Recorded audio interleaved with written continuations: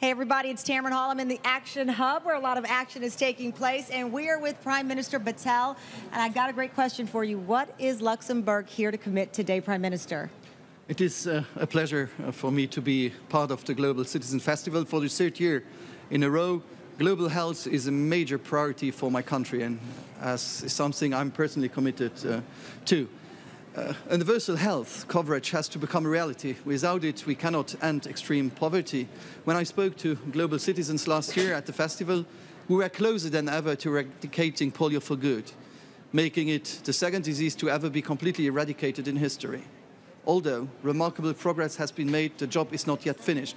We are gradually reducing the number of cases each year, but every new case of polio is one too many, and we need to get to zero.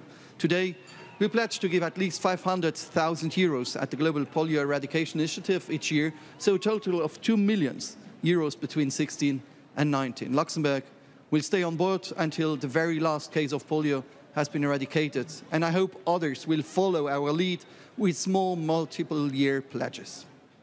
So, why are you focusing on polio? Supporting polio eradication means promoting global health. Uh, this is why thousands of uh, global citizens have signed the End Polio Now petition, urging world's leaders to take action. Polio eradication could still be our first major milestone in the Agenda 2030 and would be one of the greatest uh, achievements for humanity. As you already know, polio is a disease that has disabled tens of millions of children and forced people deeper into poverty. By eradicating polio, children across the entire world will benefit. We must seize this opportunity to give every child a chance to have a happy and healthy life. And what is your message for other countries?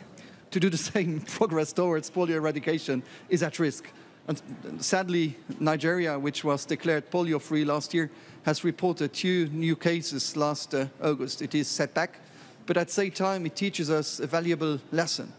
If we want to see the end of polio, we need to ensure every single person in the world has access to basic health services. Every single child needs to be fully immunized. But we know that this final step is often the hardest. Conflict, insecurity, cultural beliefs about vaccines in many parts of the world, the operational obstacles we face, particularly in the still endemic countries like Afghanistan and Pakistan, are main, manifold and require our joint efforts. So let me reiterate my call from last year for all of us to come together and act now. We have the power to make polio history. Join my country in supporting the Global Polio Eradication Initiative until the very end. Thank you.